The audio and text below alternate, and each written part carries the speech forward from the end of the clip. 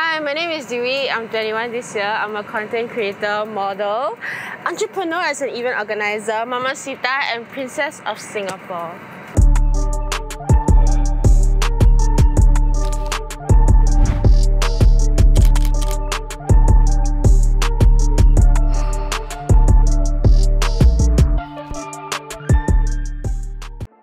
thought like whatever I doing was like just for fun. And I mean at most I thought like I was making people laugh or like a community of people laugh. I think after a while I also understand like my influence and like I actually do have a voice that and I speak for I can speak for a lot of people and I have a platform to actually raise awareness about a lot of topics. Yeah, but I have to say it's scary lah. When like girls that are younger than me, like secondary school girls, like when they come up to me and they're like, oh, I like your videos and I watch it, I'm like, oh my god, I'm like their older sister.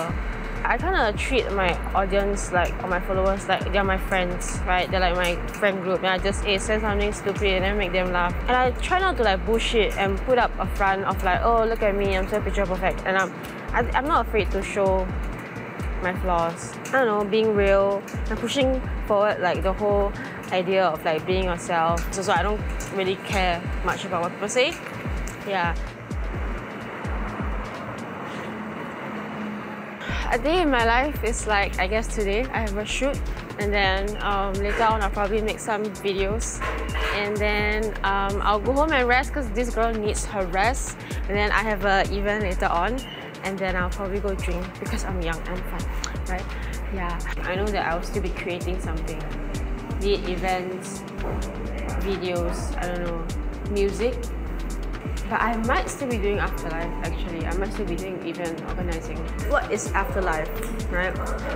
I think afterlife is a rave event started by me and my two other partners, Ryan and Kai. Um, one of our strengths is that we already have an audience, you know? And I put Ryan in because, uh, yeah, Ryan's a very talented individual. Then we just created a team then that's how the three of us came up with Afterlife. Try to come up with concepts each um, event. So like every event is different from the last. Right? So you, you don't really know what you're expecting. Afterlife is from Gen Zs for Gen Zs. Yeah, so some clubs they have a more uh, mature patron group, which maybe Gen Zs are not comfortable with. They want to meet like-minded people, right? So I think Afterlife is a space for that.